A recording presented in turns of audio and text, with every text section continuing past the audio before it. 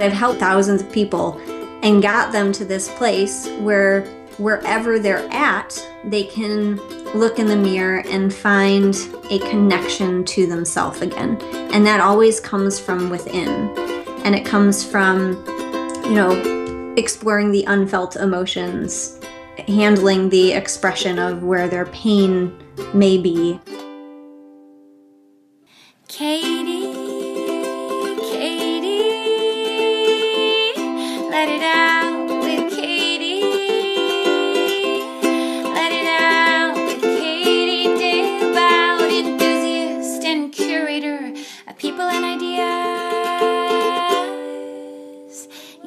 to hear.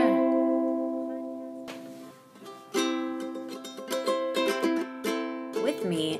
And today is another one in my series Highlight Detroit because this person lives locally here in Detroit with me. Her name is Renee Heigel. She's a friend of mine, as you'll hear in this episode. And we recorded this a couple months back, so you'll hear some old school references to the name of my old blog and podcast, which was The Wellness Wonderland.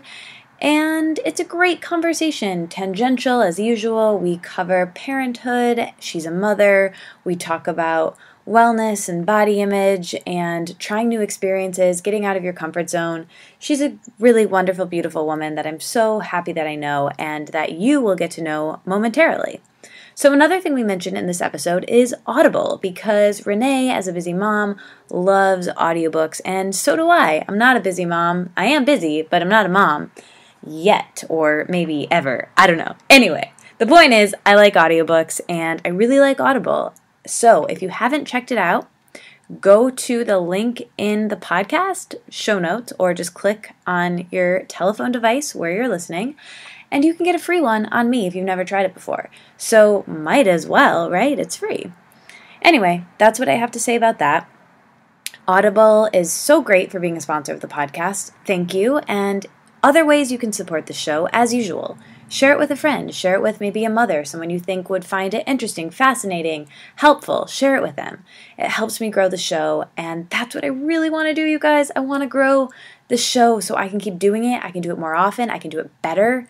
I really want to do it better. I think I can do it better. I think I can have on not that my guests aren't awesome, but I just want to have more awesome guests on and I want to be able to prepare more and spend more time on it and edit it better and just do all sorts of cool bells and whistles to this podcast. So if you want to support that, a, you can donate to the podcast. There's a place to do that. My assistant Amanda restructured that page so it's super simple and easy to navigate. And you can just do it through PayPal. It takes like two seconds. But if you don't want to spend any money, you can support the show through Amazon. I'm an Amazon affiliate, so if you shop through my link to Amazon as you normally would, Amazon actually throws a couple pennies our way to keep the podcast going. So that's another way you can support the show. Again, just sharing it really helps it helps to subscribe. Actually, hitting that subscribe button gives the show a high five and helps more people find it because it moves things up in the iTunes algorithm of sorts. I don't really understand it, but all I know is sometimes we're in the top 150, sometimes we're not, sometimes we're like 100, sometimes we're like 99. One time, one time we were. It was really cool. I took a screenshot. And another time, we were like 127, which was also really cool. But it would be really cool if we were consistently in that go around of podcast roundups on the iTunes charts because it helps people find the show and it means a lot to me to have lots of people listening because it helps me to make more friends in more cool places. So join the Facebook group so you can listen to the show with your friends and talk about it with your friends. And I love you guys. Share it, subscribe, leave a review. I think I maybe mentioned that. I mention it all the time. Every podcast you listen to probably mentions it. But I just want to say it's a big week for podcasts in general. My friend from college just launched a new podcast called Undone. I had to think about what it was called for a second. It's so good. Her name's Emmanuel Berry. She's a producer on the show. Check it out. It's on the Gimlet Network, and I'm so proud of her. I love the show. There's so many good podcasts. What else are you guys listening to? I love you. Thank you for listening to my show when there are so many fantastic options out there. And I can't wait to talk to you guys next week. All right, I'm in a really happy, giddy mood, so hopefully that comes across. I'm to go hang out with some friends now. Love you. Bye.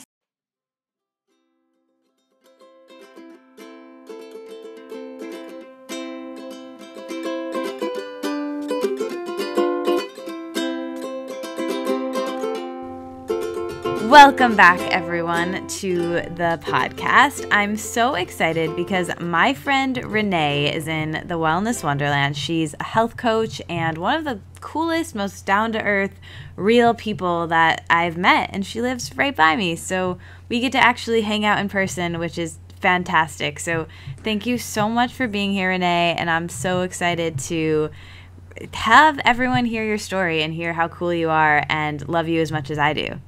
Thank you. I'm so happy I'm here, especially with you. This is awesome.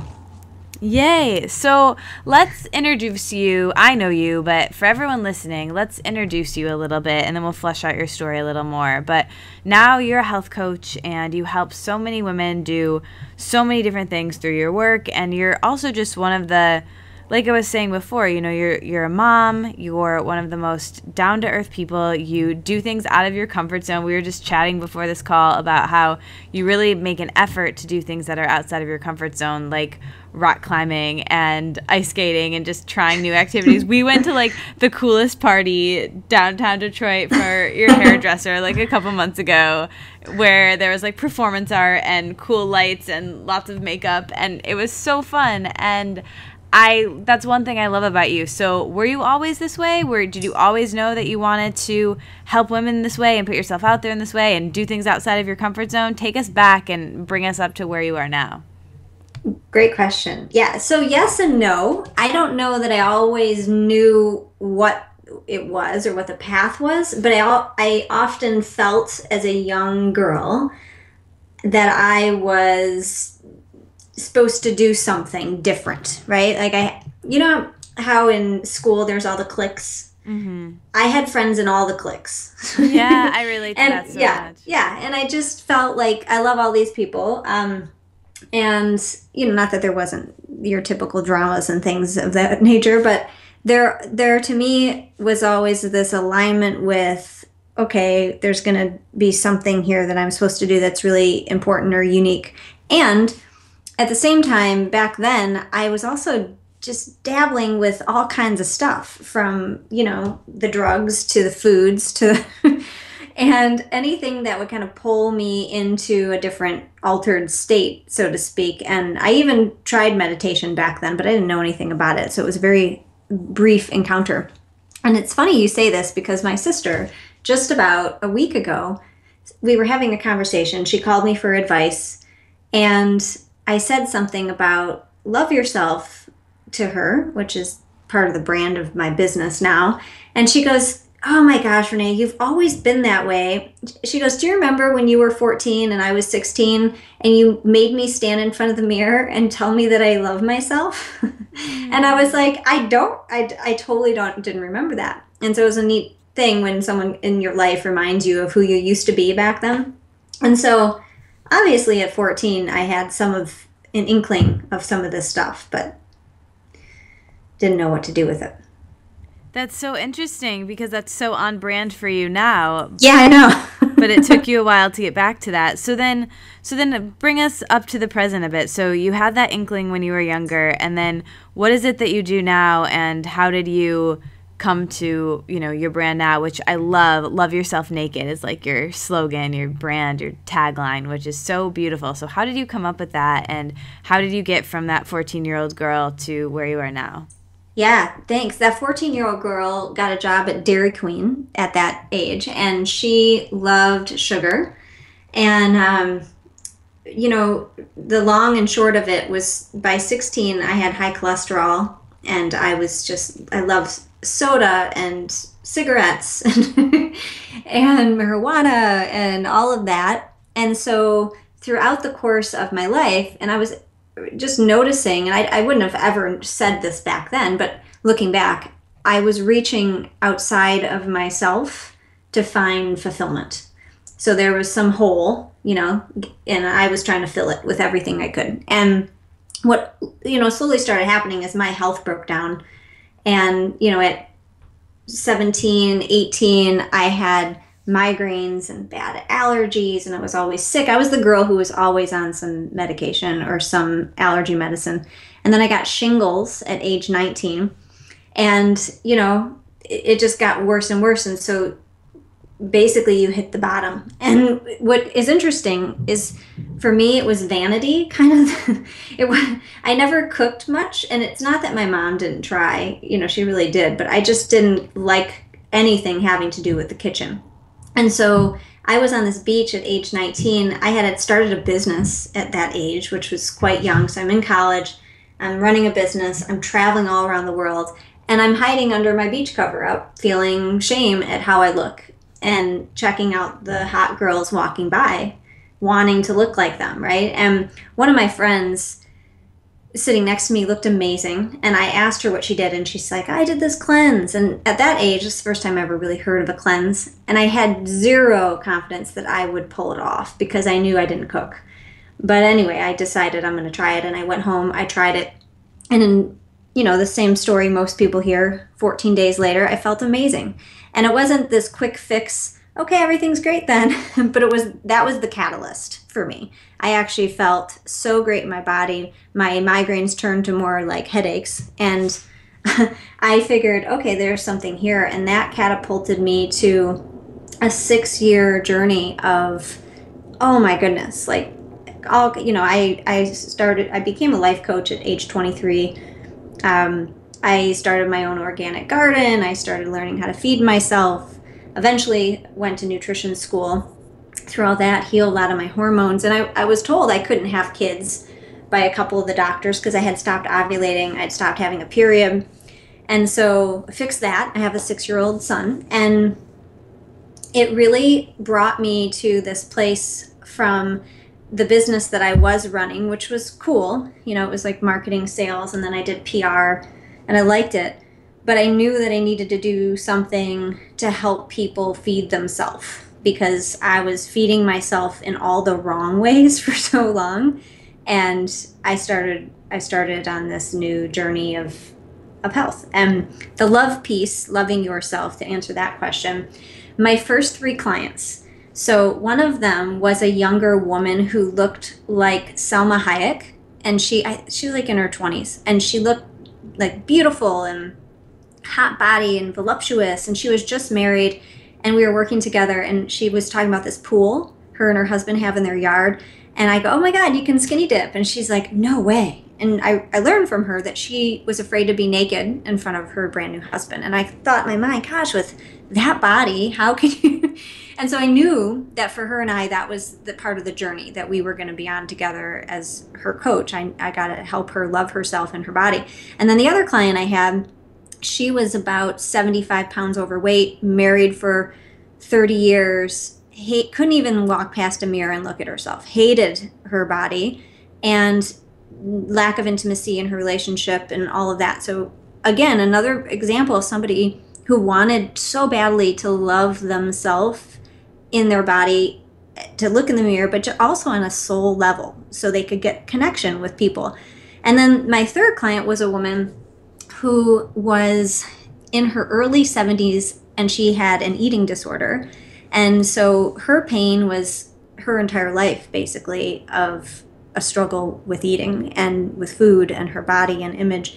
And so you take these three completely different people who all want the same thing. And I remember going to this conference and telling people, I think I'm going to call my business Love Yourself Naked. And I got a lot of different kinds of reactions. but it was it was catchy enough and it spoke very clearly to not only I want to like what I look like in the mirror, but I also want to feel a sense of wholeness, which was really the journey that I had been on for so long. So that brings us here. Yeah. 7 years now. I think I've been yeah, 7 years anniversary this year in business. That's so. great. I love that. I think it's important that I like the double meaning to love yourself naked. Like, I like how it can mean obviously the physical body and the naked body that, you know, we have, but it also is like loving yourself without your masks, without the mask you put onto the world or who you're trying to be or who society wants you to be, loving your naked self for who you truly are without all of that. Yeah. And uh, that's what really stands out to me about your brand and what you do and and I, I want to pick up on on something else that you said there which was you know it's not about a cleanse it's not about the food it's about all of these other aspects of your life and I know we've had many conversations about this off mic about you know the fact that and you know you know that body image is something that we talk about a lot on this podcast and how you know it isn't just about making your body what you want it to be because that's fleeting and that's changing and there's aging and different life stages where our bodies will change. So it's about making our life as a whole really great. So, can you talk about your journey with body image and really embracing that and what you've seen in your clients? Yeah, absolutely. What's interesting, this has come up. I, wanted to start here. I'll start in the now versus in the in the foreground, but I I won't say where I was, but I get some cool opportunities to do some neat speaking gigs and and be in places where there's uh, you know doctors and uh, influential business individuals and things like that. And I've had this happen to me I don't know now, five or six times, and I'm sure it's happened a lot more than I'm unaware of, where I have shared the name of Love Yourself Naked. You know, my, my website's like reneeheigel.com, so it's not like when people go there, they're always expecting to see this naked word.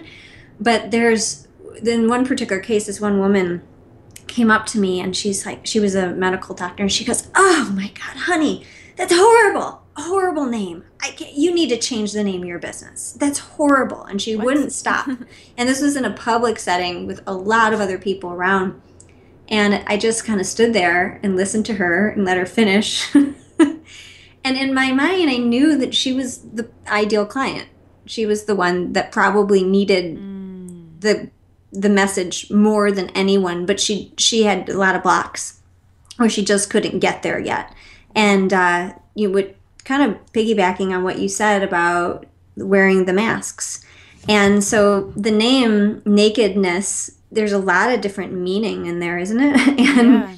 and you know, people are like, is that a porn site? And you know, I laugh. I think that's always funny when I hear that. But there's there's something in our culture where we have this association with the naked body, which I think is a whole nother separate conversation, so I won't go too deep here, but where it's um, you know even think the breastfeeding conversation. Are they tits? And this is my you know tits to flaunt my bra so you can see me on instagram or are they nursing breasts? Maybe they're both. I don't you know i'm not here to solve that problem necessarily. But the association when we come back to our body is very very important where we can feel connected to it on a soulful level. And when I find, you know, in this case, this woman, if someone feels really, really disconnected from their body, they'll probably be very triggered by hearing love yourself naked. Uh, I've heard a lot of people say, you know, I don't love myself clothed, let alone right. naked. and it's something I can really, really relate to. But I've helped thousands of people and got them to this place where wherever they're at, they can look in the mirror and find a connection to themselves again. And that always comes from within. And it comes from, you know, exploring the unfelt emotions, handling the expression of where their pain may be.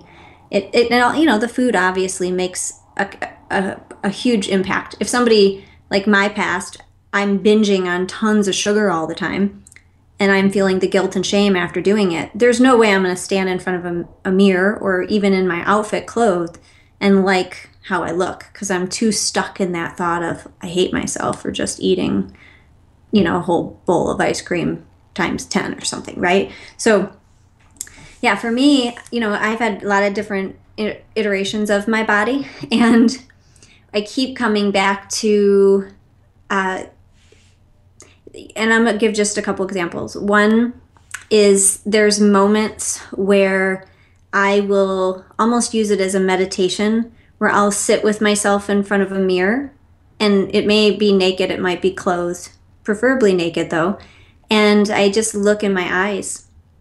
And that's that's a step 1, you know, where you really really just connect with yourself. Sometimes you can talk and say, "Hey, I love you. I appreciate you." And that can be a really, really emotional first step. And for a lot of my clients, taking that step sometimes is really challenging. So that that might be a goal for some people to work up to, and for some people it might be the first step. And you know, I mean, I remember one specific moment when uh, I, I, was quite young. I had a uh, my belly button always stuck out. It was like the outie belly button. mm-hmm. And a lot of people are like, oh, it's so cute, you know. But then when you get to the age and you're going to the beach with your girlfriends and there's guys there and you're, you know, a new teenager and you're in a bikini, now all of a sudden I'm the one that has the weird looking belly button. And people would make comments and, and all of those different types of things. I remember having like an ingrown hair by my bikini line. And these are simple little examples, you know. I mean, there, there's of course cellulite and there's different roles and so many different things. But as a young kid, coming back to what those core stories are of what did we think about ourselves, what did we learn, and then how do we how do we allow that to affect us in our present day life? That's a really important step to take. To really get clear on that. Yeah, and really just releasing, you know, years of maybe pent up, you know, negative thoughts we've had about ourselves and learning to let those go little by little by little. Yeah. And I think that's really fantastic for for what you do and, and how you're helping people and then knowing too that it's it's not about the weight you know it's not about losing the weight and that's not necessarily going to change anything if it does happen so it really is about actually loving yourself regardless of the weight. Whether the weight comes off or not it doesn't really matter. It's about feeling okay with yourself and accepting where you are today. And i think that that's just a really important point i want people to hear and take away from this. Absolutely. And for some people that they hear that i love how you put that and i agree. And the there's a paradox there because for some people are like no but renee it really is about the weight coming off. Because there's so for a lot of people they haven't gotten the paradigm that when there's a self-acceptance and it's really this is really about growing your self-esteem if we were to put it in really simple terms like growing your self-esteem is a way for you to feel this confidence that comes from being uh, happy i don't even know i don't want to use the word happy uh, a state of inner peace, because we're not always happy, are we? but a state of inner peace with where you are right now. And where you are right now, I mean, I've, I've spoken a lot with Gilda's Club and people who have, you know, are in recovery from cancer or struggling with it right now. And, you know, there's a lot of scars and a lot of things going on in the body. And for some people, it's, they've been stuck in what they term quote unquote the fat suit for years and years and years. Um, and for a lot of people, it's a, a challenge with looking in the mirror and always wanting to be somewhere else or somebody else. But the the weight thing will come and it will come as a beautiful consequence of you feeling in balance. It'll come as a consequence of you feeling that self-esteem boost, that level of intuit, in, intuition with trusting in your own body and feeling acceptance with it. So I think that we have to find how to love ourselves right this moment. And that you know isn't that the question of the century? How to be in the now you know like yeah. who's i have that tattooed on my wrist now. And um, it's a good reminder that you can't be somewhere other than you are in this moment. Yeah and it goes back to really you know presence is everything. And also too you know we have to accept that the body that we want to have might be different than the body that we're meant to have and where our body wants to be and that's okay.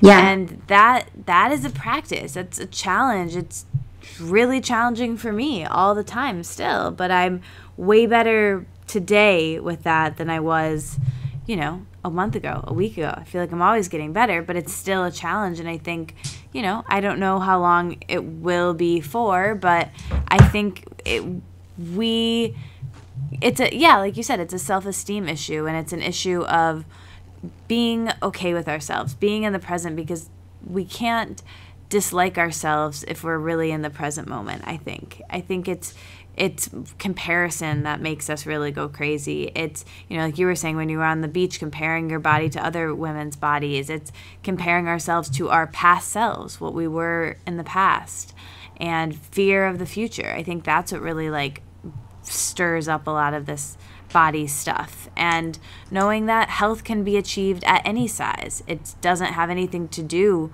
with our weight.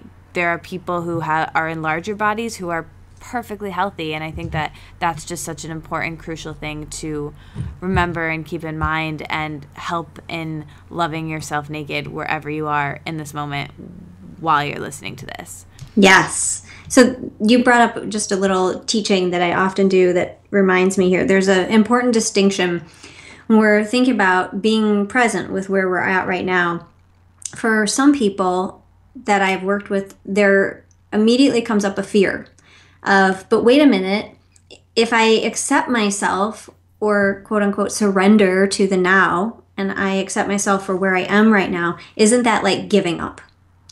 And there's a really, really important lesson in here. It's it's actually the art of surrender is letting go of control and allowing yourself to feel uh, trust that it's all going to work out for your best and highest good in, in, in whatever way that looks.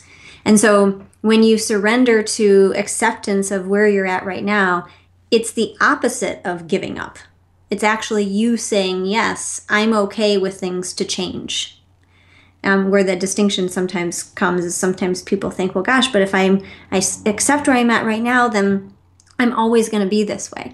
And so what then then we do is then we stay in the fight and we stay in all of the running and running and running and we come right back to our mind and we come right back to the thought and I, my belief is that most people that i work with and this includes myself right is that uh, one of the biggest addictions we have in our world is addiction to the mind and addiction to our incessant thought.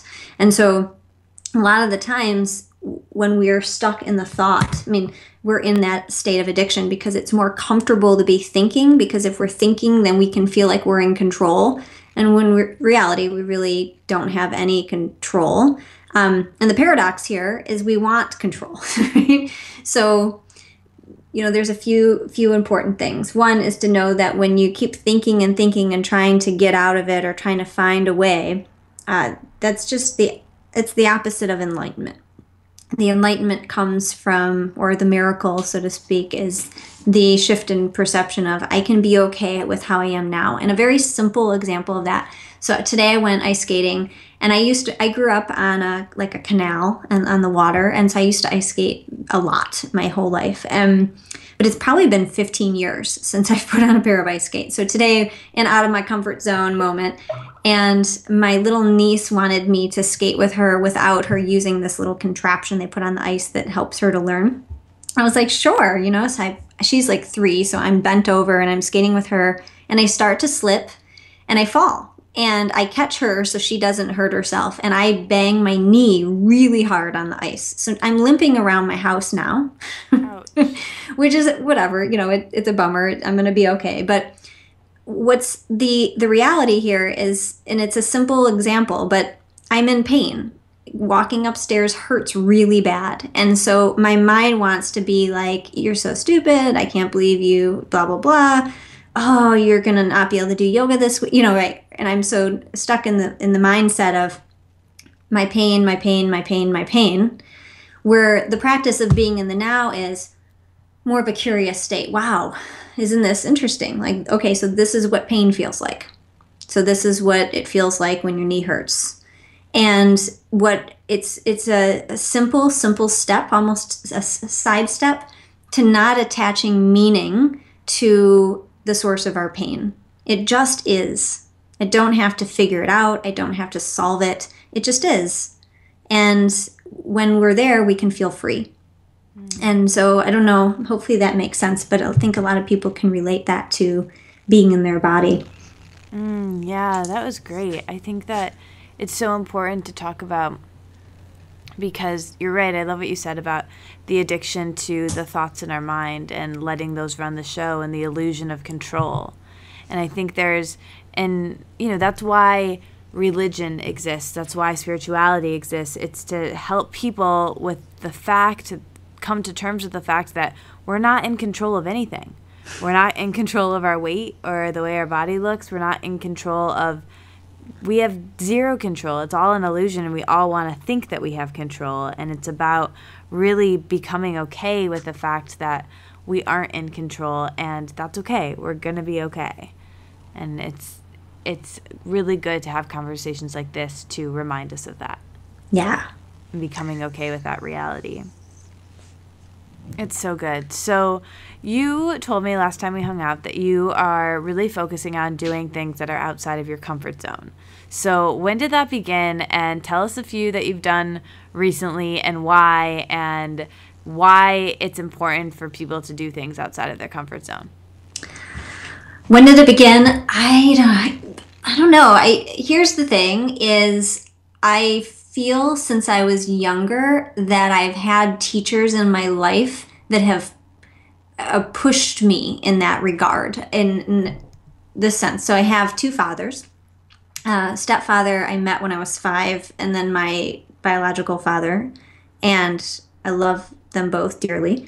Very lucky, and you know, as a young girl, I would dive into the water behind our house, and I would be rated by my uh, not be rated, but I was he he was rating me and on how my diving expertise was. You know, so he's like that was a 9. that was a 8.5 and I I never really got a 10, right? and so I think it gave me a little bit of a competitive edge. And I played sports here or there. I mean, I was like the girl though who smoked weed and then I played sports. So, and um, what I I started to see is that the things outside of me. I want to make sure I put this correctly. So, like the things I was reaching for outside of me that were my comfort zones, like um, in some cases food, or in some cases back then I, when I used to smoke pot all the time. Um, not that that's a bad thing, but it was just something that I think I abused back then. Um, even drinking for a while, or um, you know, I was a, very, very addicted to work for a, in mo- most of my twenties, and so I was looking for this sense of fulfillment and value from things outside of me a lot. And I don't know where I picked that up, but I I misinterpreted that that was part of my competitive edge. And so what I started to see is that the way I could really grow myself and connect more to myself. One is through movement, so moving my body in various ways. I'm not like a gym rat kind of person, so I've you know I just not. And I like to do lots of different physical things. So I, I try to do new things to keep me, you know, I like pole dancing. I have a pole in my bedroom. and uh, it's like great physical fitness and fun. Fun is my favorite word. So, you know, doing something that feels like it can push my edge in one way will help me in so many other ways in my life. You know, being an entrepreneur is one of the best gifts ever. I love it. And come coming with that is a lot of things that push your edge a lot. And and so if I can do fun activities, not that running a business isn't fun, but I think you guys know what I mean. if I can do like fun activities like go climbing a rock wall somewhere or um, going to a new, you know, I've traveled a lot on my own in my life. And you know, doing things that I typically would not do. I, coming to mind is that one particular event you and I went to with our friend Anne. Mm-hmm. Never been to that kind of a show before. Just it's just random stuff. It's just random stuff it because so what fun. It it was it was and and surrendering to being really present and seeing how it all unfolds. I think that's part what I really get high on now is the synchronicity of like how is this all going to unfold? And can I be in the present here and not be attached to how it's going to go? Like and and take away the meaning of any of it. Just be here and experience it. And what I notice is that when I push myself a little bit constantly through doing these type different types of things here or there it helps me so much in my life. Like I can't even begin to describe it. Like it's it's awesome. So I don't know if I have necessarily a list, but I have, you know, the dream book and the the vision board and all the things that I want to do on there. And, and now so that I'm a cool. mom, jumping out of a plane feels a little different, you know, like yeah. I maybe still, well, I don't know. We'll see. That's so cool. And I'm excited to do things out of my comfort zone with you. Yeah. What's cool is you just brought this up to me that just kind of hit me like a little aha for myself is I have a very rebellious uh, heart. You know, there's a part of me that loves being a rebel, that wants to do things different. That now there's a different way or a different opportunity for me to transmute that rebellious energy, and it's a, it feels much healthier. Hopefully that comes yeah, across. It's That's, another way yeah. to use that energy. Yes, I love that. Mm-hmm. That's really cool because I think we have excess energy that we have to get out in some way and sometimes you know it's doing a workout or doing something outside of your comfort zone or you know trying a new thing or calling a friend but we have to it has to go somewhere and it might go into an old negative behavior if and a and that's you know really ingrained deeply in us if we don't actively try to put it somewhere else yes so i think that's important to discuss and mention and i love that so what is your favorite part of your life right now? Great question. I feel so I was just having dinner with my boyfriend who moved here to be with me from Philadelphia. And we've been together for a few years. And my son, three of us were together. And the wave of just massive gratitude came over me. You know, we're eating great dinner good music's playing. We're all laughing hysterically at something silly, and it um, it just I feel really content in my body in my life. I feel like I'm in a state where I've attracted a core group of friends that is expanding right now too. That I really feel like I they can meet me where I'm at and um, so a few things that come to I, I guess relationships is would be the short answer. mm. You know, the relationships that I've been able to cultivate Which in my life. The most important thing I think in life. Yeah, yeah.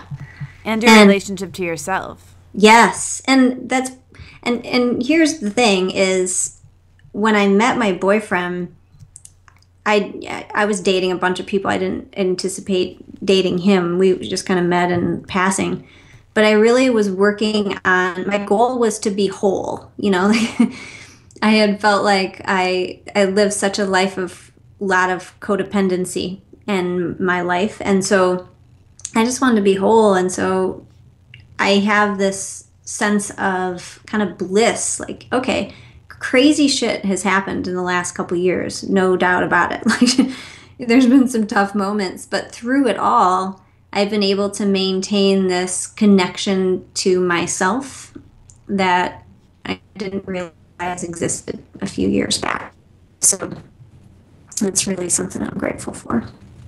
That's great. I I think it, it really the relationships that you have is really a testament to the work you've been doing on yourself. So now I want to ask you um, the questions that I ask everyone. So, what does your morning routine? What do your morning routines look like now? And um, well, actually, let me take a step back. Before we get to that, we have a lot of mothers listening to the podcast, and I want to take advantage of the fact that you're a mother to Manny, who's adorable and super cool, and I want to know what is what are some of your tips for being a mother? And I don't even want to use the word balance because I think balance can be kind of a myth or like a cliche word, but finding your flow with being a mother and making sure that you're taking care of yourself to be an example for him and also taking care of him in a healthy, holistic way. Just could you speak on that? I know that's really open ended, but yeah, I think you can no, do it. totally. Yeah. So the first thing is that just popped in was allowing myself and others that are really close to me the space to really feel emotions fully. So um, what I've noticed since becoming a mother that this things go really really fast and you're doing so many different things. And i basically started my business when i was pregnant. So like i and, finished up a you know part of nutrition school at the same time. So i had a lot going on at one time and i you know it's the same story most entrepreneurs tell. Like i totally went into adrenal fatigue et cetera et cetera and learned some lessons from that. And part of that experience was me racing through and not allowing myself the space to experience the full range of emotions that i i was having. And there was a lot of them. And when I say the space, I'm not saying I need to like kick back on the couch all day and like do nothing, although that is important too. However, um, it was just really about slowing down my brain, and I'll give some tips maybe in the morning routine question of how I do yeah. that. But you know what I realized though is that I was a perfect mirror reflection to how my son was showing up. And so part of the way that I got that gift, I mean, that's the gift I think of parenthood is your children will show you what you need to work on.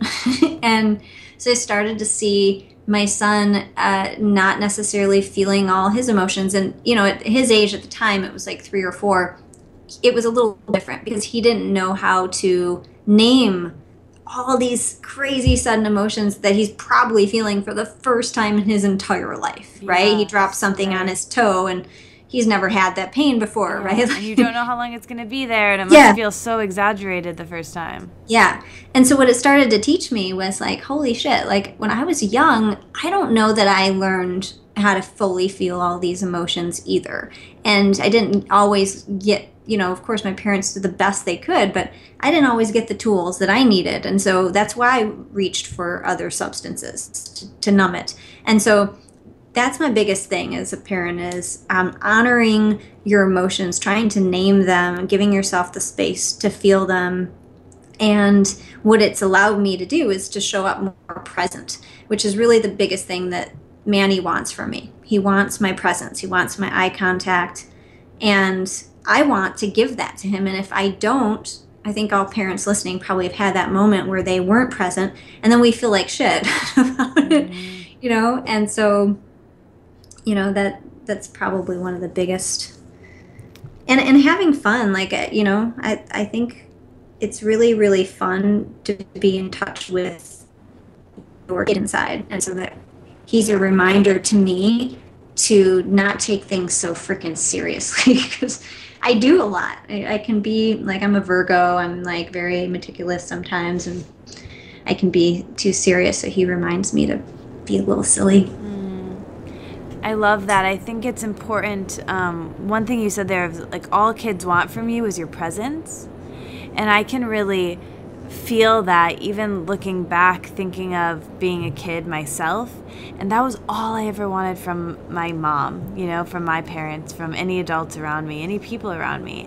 And now, as a big kid, it's all I still want from yeah. people is their presence, is to be seen, is to be heard, is to be listened to, is to be followed, is to be shared, liked, accepted. That's all we ever want. So as kids, it's just accentuated because it's the you know it's the first time feeling that so that's so great that you picked up on that and um, manny's really lucky to have such a cool mom thank you so all right now let's go to the morning routine question so how are how do you start your mornings what are maybe the first few things you do when you wake up in the morning and how does that affect how the rest of your day goes so I slam water the first thing I do. Like I'm at like a beer chugging contest, but but with water. So that always happens. Um, my son is with his dad a lot of the time, and so I have I feel almost like I live a couple different lives.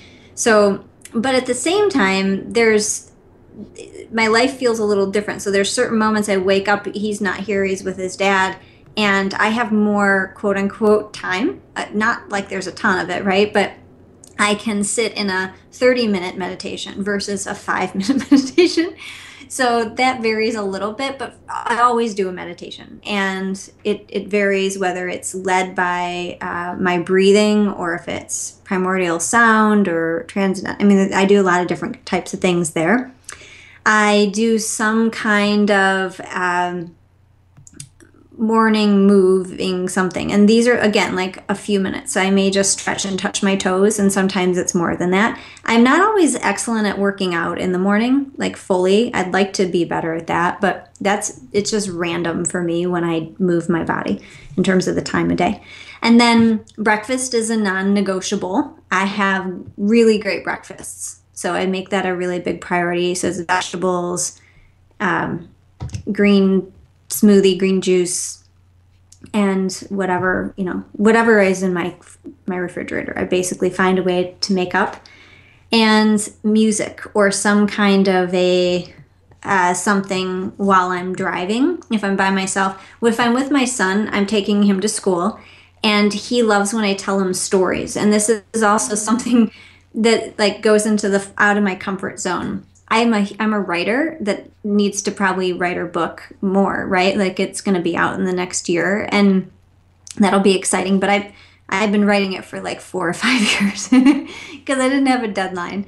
And so what he has done is he has me tell him stories, and so now I'm forced to come up with these really elaborate stories. And I have to admit they're really good. So mm-hmm. I I we started recording them, and so I tell him stories for our thirty minute his drive or his school is a bit of a drive, and then I listen to something almost every day, like a podcast, Wellness Wonderland, mm-hmm. or um, you know some kind of a. I, I love Audible, so I listen to a ton of stuff. Me too. On there, that's those are my favorite things. What are some of your favorite books you've listened to recently? Ooh, good question. Um, let's see. Um, Marie Kondo.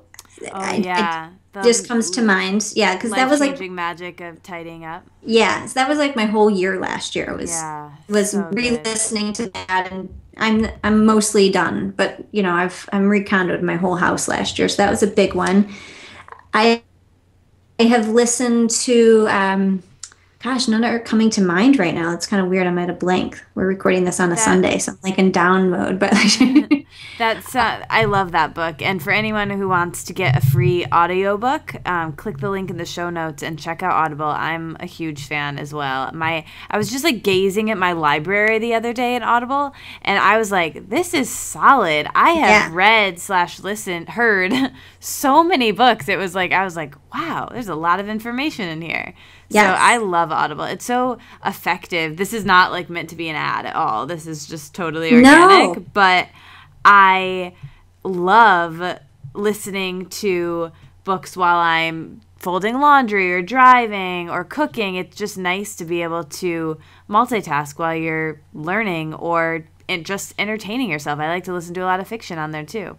Yeah, I'm, and some are coming to mind now as you're saying this because first of all, um, I do drive a decent amount, and so I was realizing that for years I kind of stopped reading because I just didn't make the time to sit around and read a book, right? And so I'm averaging maybe two books a month, give or take. I mean, it depends on the month, but that's a good average, sometimes more because of Audible. And I'm not an affiliate or anything like you. I'm just like absolutely love it. So you know, I listen to um, one of the coolest things is there they have something on there called the courses. I think it's called the the courses or something. I'll have to look up what it's called. But essentially, I'm like learning about neurobiology.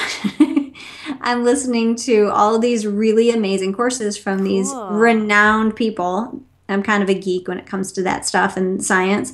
And um, you know, I listen to like mom books on like raising, you know, raising your kids to fun like Big Magic. I read that one. Elizabeth so Gilbert. Good. Michael Singer is one of I like him. He wrote the Untethered Soul, and then I just finished the Surrender Experiment recently. Oh, so that, cool. That's a really good one. What are some of your favorite parenting books or any parenting tips? Hmm. So one that I like the book one of the books i'm reading right now or listening to right now it's called hold on to your kids and i have i think the guy's last name it's uh, mate m-a-t-e is the author. And he co-wrote it with another gentleman whom i can't remember his last name right now.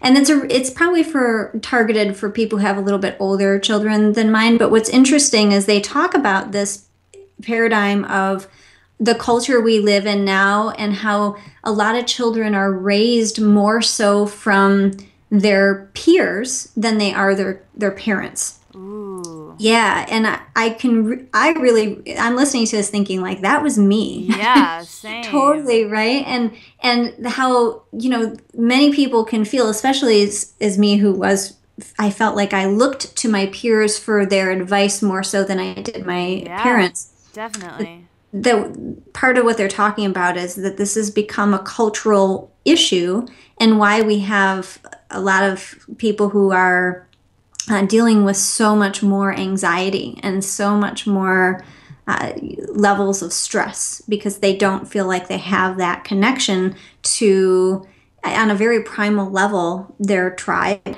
What i started realizing is that i i want to create this a safe and secure environment for my child where he knows that um, I'm always there first. And I want to give him this like loving permission to have these great friends, but that if he needs advice or needs something, that it doesn't, you know, that the instinct is to come to mom or dad or whomever first in the family, then to go to the friends. Because you think about, uh, you know, a friend raising a friend or a peer raising a peer. Blind leading a- the blind. yeah even though it seems fun for the you know at the time it's probably not always a good thing so yeah that that's a good that's a really and bound the other thing that comes to mind i've read so many books and children's stuff on on boundaries and and that kind of stuff and setting clear boundaries is so important right now because we live in this culture that's so inundated with so much noise all the time and even the generation my son is about to grow up in, you know, he knows how to work the iPhone better than his grandparents. And so, um, and it just seems very normalized to him to like, we live near a Google headquarters where I live, and we passed it the other day. He's like, oh my gosh, mommy, Google's here. you know, I realize how he just knows Google so easily. And, and so, uh, if we don't have clear boundaries of, and, and, a, a way for ourselves and our children to be able to focus their attention on what is in front of them, then they're going to be like all over the place. So that's really important. Oh, that's so good. I'm so glad we covered this because this is just an area that I've gotten some feedback recently that I kind of glossed over because I'm not a parent yet. Yeah. But it's so fascinating to me and there's so many people who are listening who are parents and or will be parents um, someday. So it, it's really good to talk about and this stuff is just fascinating to me. I was just talking to a friend earlier today about how it's interesting how much children pick up like velcro from us and you really have to make sure we have all of our stuff in check like your body image stuff and Yeah. your um, you know addictive patterns and your all of our issues they're just going to pick up and recreate if, if we don't first take care of them ourselves so i i really want to talk more about it on the show and make an effort to bring it up more so i'm glad we're we're having this conversation and it's coming up right now Yeah. You, when we when we met like hanging out as friends last time too, I think we talked a lot about that kind of conversation and what it reminds me of too is whether someone has children or not.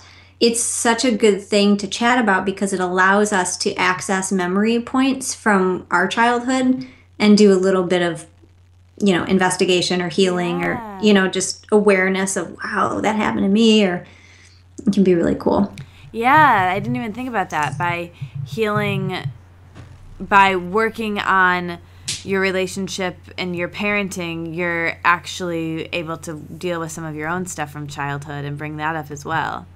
yeah That's fascinating. it is So let's get to the other end of that question. So, what are the last few things you do at the end of the day and your evening routines and how that affects um, your sleep and how you relax after, especially being an entrepreneur? So, most recently, I committed to yoga every damn day. And uh, that doesn't mean I show up to a yoga class every day. I wish that I did that, but I'm not yet. So, I, but I commit to doing a little yoga every day. And that seems to continue on right before I go to sleep. So, I'll do some kind of yoga, like right at the foot of my bed, basically. Then I do magnesium. There's something about magnesium that uh, loves my body and I love it. So I do either a drink of mag- this magnesium drink called Natural Calm Stress Relief, great stuff. I'll either drink some of that or I take these good pills that have a bunch of other like B vitamins and other fun things in there too. But I'll take that and get my body. You know, I one I wash my face every night without fail. I do little rituals that have become habitual for me that just make me feel like ah calm, complete. um, putting little oil on my cuticles. So I, am not perfect at this one, but I try to put lotion on my hands and my feet. I live in Michigan, so it gets cold, so you gotta do that kind of stuff. And you know, brush my teeth, put my little mouth guard in. You know, cause sometimes I get lazy and I don't want to do the all that stuff. You know, I'm like, oh, do I have to wear my mouth thing? You know, and so I find that I feel really good in my body. I try to keep the phone away from me. I'm not always great at that, but I'm I'm better than I probably ever have been. Where I put it on airplane mode and I go to sleep with either just calming sense of breathing and and presence or I'll read a some you know a little bit of something but usually Facebook before sleep or Twitter doesn't amount to me. I dream like crazy dreams and like huge dreams. Probably could write massive, great movies from them if I wrote them down. And so I try to keep all the crap out of my head before I fall asleep so it doesn't disrupt my dreams. I feel you. I, yeah. I always think that I was like, whoa, I could write some crazy interesting thriller after dreams that I've had before. Yeah, isn't that cool? Yeah, it's it's it makes me grateful for how much of imagination I have, but it's um it's definitely interesting to know that like I don't know how peaceful my rest was. I know. because that was pretty intense. Yeah. Yeah. So let's move on to some quick fire questions. Are you ready for them? Yes. So you're trapped on a deserted island and you can only bring with you one TV show season to binge watch, one book, one person, and one food. Go. Okay, so person Rob Scott. Oh man, that's hard though because I'd want to bring my son and one person. Okay. You can bring them both. All right, good. those are my boys. Um, the book, I just mentioned The Untethered Soul, so that one just comes to mind. It's awesome. I've read it do- half a dozen times probably. Um, TV show, I don't watch a ton of TV, although I just binge watched, uh, what, what is it even called? Um, the Royals, which is not a typical show I would ever watch, but I think I needed like some you know, like fun, fun something. And I watched like two episodes or not two episodes, two seasons of it in like a weekend or something insane. Fun. So I would be I would bring something fun that would not be typical for me. So I would remember on my island to just enjoy. Um, what else did you ask me? So food. it was food. Oh, good question. Straight on a dessert, I would bring bananas because that's that can sustain you. That's the one food that could sustain you forever and you wouldn't really need anything else. And they taste good so i'd probably just bring those guys. And they might have them already on the island so you can yeah. bring like yeah. pizza or chocolate too. So um, what's the hardest time you've ever laughed or some time you laughed really hard recently that you can think of? Oh um crying laughter would be with my boyfriend Rob. He he's really good at making me laugh. I can't remember. Okay, I'll just share this story. So um we were in the kitchen. This was at my old place that I used to live and like I walked up to him and we were like doing dishes and just finished eating. And it was one of those moments where you're like trying to look all sexy as a woman and like hey, you know, that, mm-hmm. that whole thing. And I'm like in the kitchen and he's like coming up towards me. And I was trying to play hard to get and, you know, be fun. And I'm backing up and backing up. And he's like walking towards me. And I didn't realize that the dishwasher was like open. And oh yeah. no. so I fell literally on top of the whole like dishwasher, like the racks fell, you know.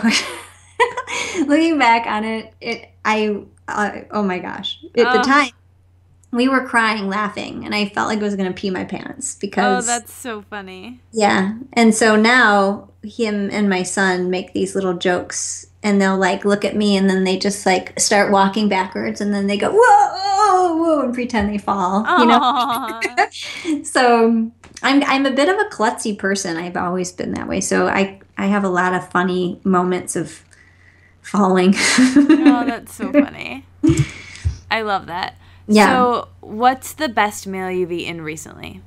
the best meal I've eaten recently, I went to a place called Inn Season Cafe yesterday, and one of my favorite things that they have is like this cashew ginger veggie Stir- the stir fry? brown rice. Yeah, the stir fry. Oh, it's so good. I always get that too. I know. It's, I could eat it every day. Yeah, and I yeah, I just love good flavors, rice and veggies. Is probably my go-to. It doesn't sound that exciting as I say it that way, but it tastes so good. no, my favorite foods are like warm bowls with like a vegetable and a good sauce and a mm-hmm. rice or a quinoa situation. Yes, and like yeah. lots of veggies. Like I would take that over like even like a really great amazing cold salad or smoothie or anything like everything else ever. Like I I'm love a warm bowl like that. It's Yeah. And my body likes warm food more than it likes cold food. I yeah, so I'm with you. Yeah. Percent. Me too. Um so we talked about what your favorite part of your life is right now. What is something that you're struggling with and you're challenging yourself with and you're working towards? So, kind of playing off what I was sharing earlier about my uh, son, just really being able to fully feel the range of emotions. I would, I wouldn't say I'm really struggling with this right now, but I was definitely struggling struggling with it a year ago. Right now, and so right now I feel like I'm just in this place of allowing myself to really uh, I'm, I'm doing a lot of i teach emotional healing with a lot of people who do my advanced sugar addiction course and so i'm upping my game there basically is what i'm i'm focused on is allowing myself to get to the root of some of my deeper emotions and to let them go and express what i need to express. And what's been helpful for me in doing that is uh, doing a lot of visualizations and uh, kind of medit you know to me meditation is not without thought but some of these i'll call like a, a visualization slash meditation where i'm meditating on being in a blissful place and you know you know like the balloon floating away with some of the mm-hmm. stuff inside i mean like to do a quick version of it but i'm doing a lot of that like as a in a, a repetitive way almost diligently maybe not every day but close to it and it's helped me profoundly. Oh my goodness. So, yeah, growing up, growing up in myself a little bit. What are you've been an entrepreneur for most of your life and in the last 7 years in this business, but what are some of the biggest lessons or tips you can give about having your own business and being an entrepreneur and being a girl boss? yeah, girl boss. So, big thing, this is huge. Focus on one freaking thing and get it done and see it all the way through. And I say this because that's not what I did. I was I was like, "Oh my god, I have so many ideas." It's like total creative Oh, let's do this, let's do this, let's do this. And not to say I'm not happy about it. You know, I have created a lot of different online programs and a lot of cool things I'm proud of. But when I look back, and there's no regrets, but I think I could have probably three or four years ago uh, done things a little differently had I just taken the one thing and figured it out fully like really stripped it down and found all the little nuances to really make that thing. And and it's not that I didn't think I back then I thought I did that but I just didn't spend enough time really diving deep and digging into it. And so that's where I'm at right now. And I'm very and it takes some focus because my attention wants to get pulled but I just keep coming back and it forces me to say no to a lot more things so I'm constantly saying no to people. Can't do that. Sorry. I can't have my time because I gotta I gotta see this one one thing.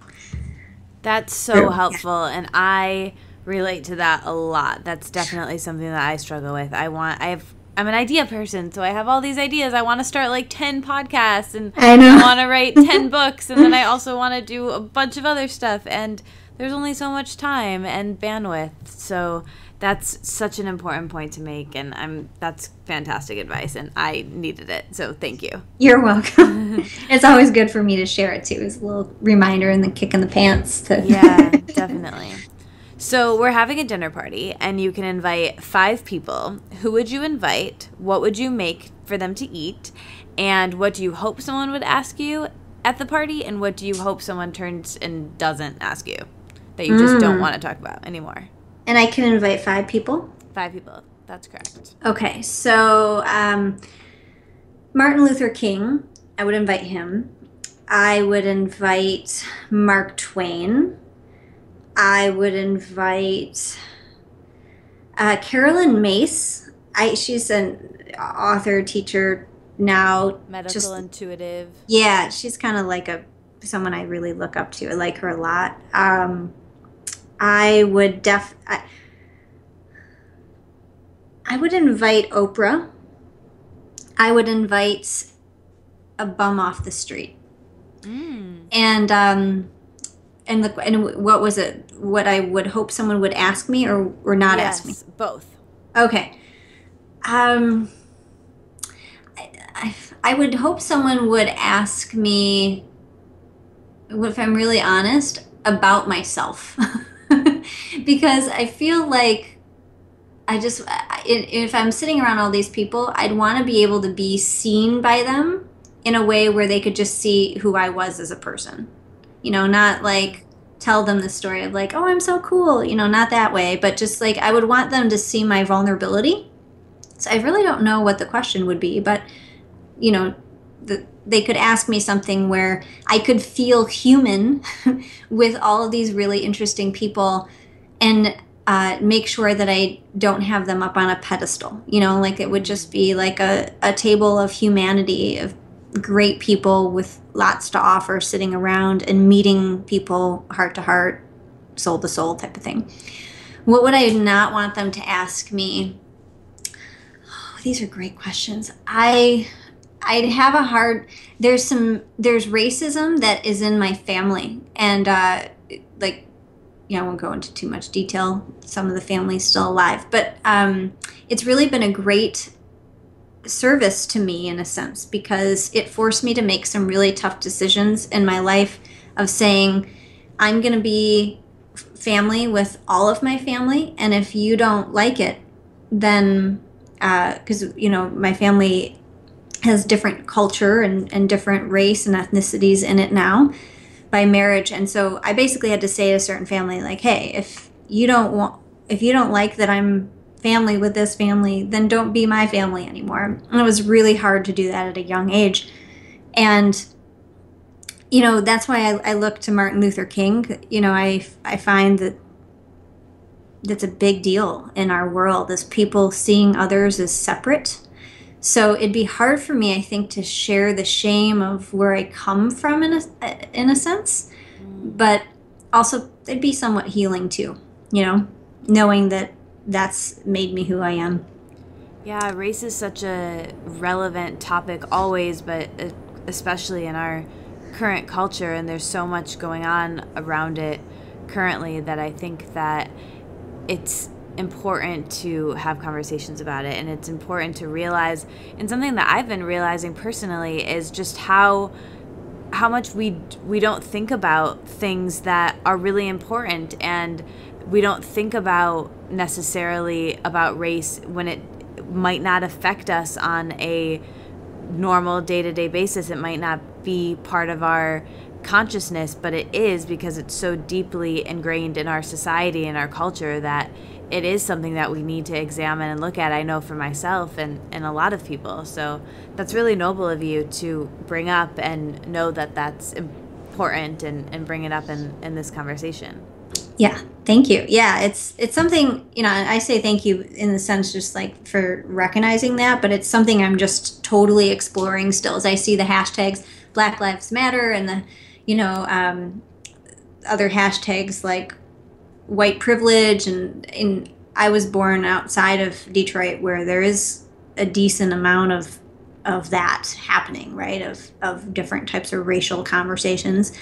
And I was born a white chick, you know, that wasn't by choice. Like I didn't know that.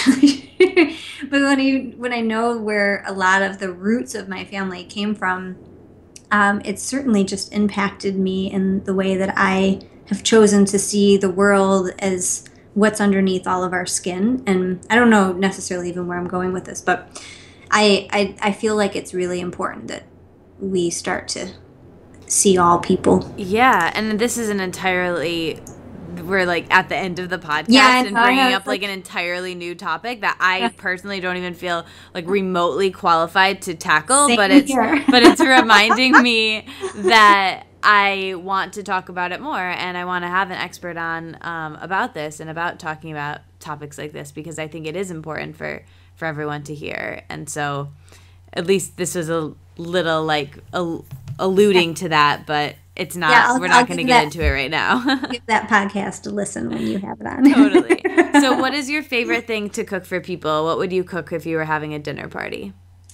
I would definitely cook some kind of it'd probably be a stir fry type of thing. You know, I I like healthy desserts too. I'm really good at fun smoothies. There it'd probably be a like a smorg how do you say that word? Smorgasbord? Smorgasbord, yeah. Yeah, I love that word. Um, I would probably be a whole different bunch of things. You know, fun little chocolates and treats and warm foods and stuff like that.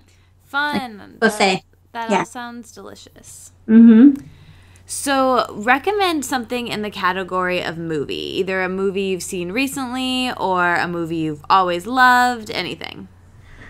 Shoot, okay. The movie I just saw recently, I can't remember. The, I gosh, you have great questions. I can't remember the name. Maybe somebody will remember it. Um, Brad Brad Pitt was in it, and it was basically the uh, story of how the government and our financial system got majorly corrupt so bad right now. Can't remember the name of it. So you're not going to really get. It's okay. People can Yeah. Google.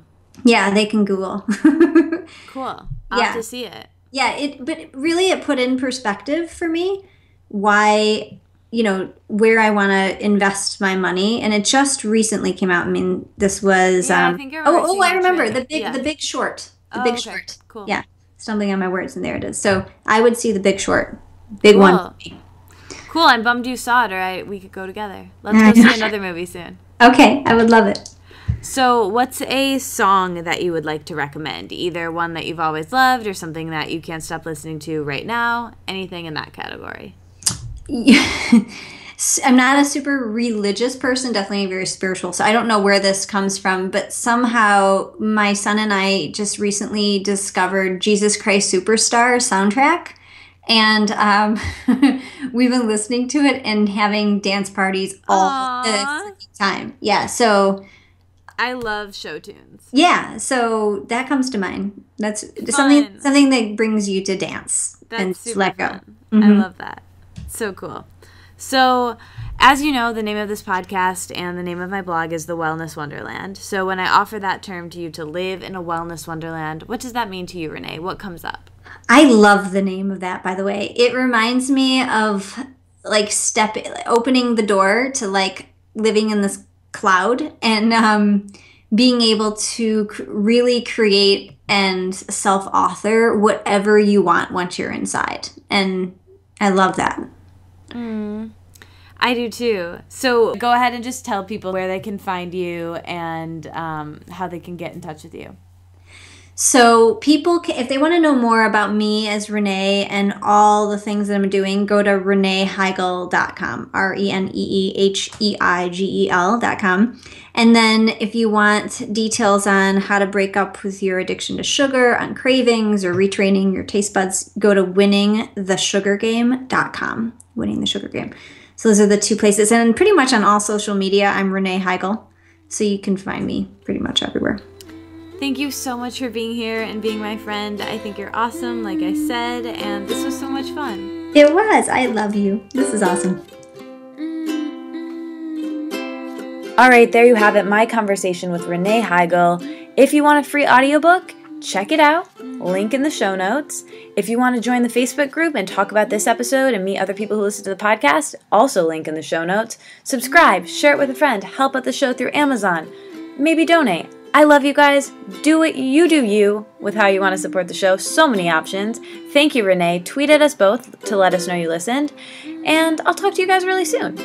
Oh, sign up for my email newsletter because I'll let you know who's coming up on the show next week when I send that out periodically, which is very inconsistent because I've just been very busy and traveling and and haven't been consistent with it. But I promise it probably will be consistent again at some point. So sign up.